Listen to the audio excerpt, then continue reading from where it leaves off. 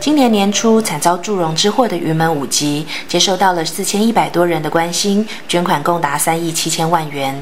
这项出自企业与民间自动自发的捐款，代表着云门舞集在社会大众心目中的地位。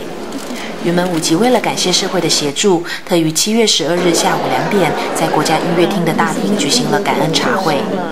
文监会主任委员黄碧端、台北县长周习伟以及云门五级文教基金会董事长申学庸、云门五级文教基金会募款委员会主任委员施正荣、副主任委员柯文昌、创办人林怀民以及基金会的董事们和多位捐款人皆出席了这一场茶会。在文监会，我们一定要尽最大的力量来替大家解决问题。因此，怎么样让艺文团体能够走得更顺畅？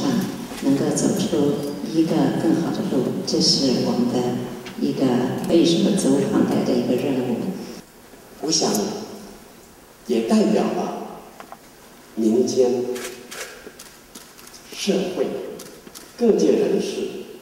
对于一个优质文化、优质生活强烈的渴望和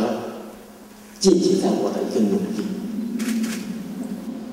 感恩茶会除了邀请来宾、捐款人代表致辞之外，也特别安排了即将在十一月应邀参加 Pina Bush 国际舞蹈节的《行草二精华篇》于现场演出，向与会宾客致意，让整场茶会在洋溢着感谢与感动的气氛之中画下了句点。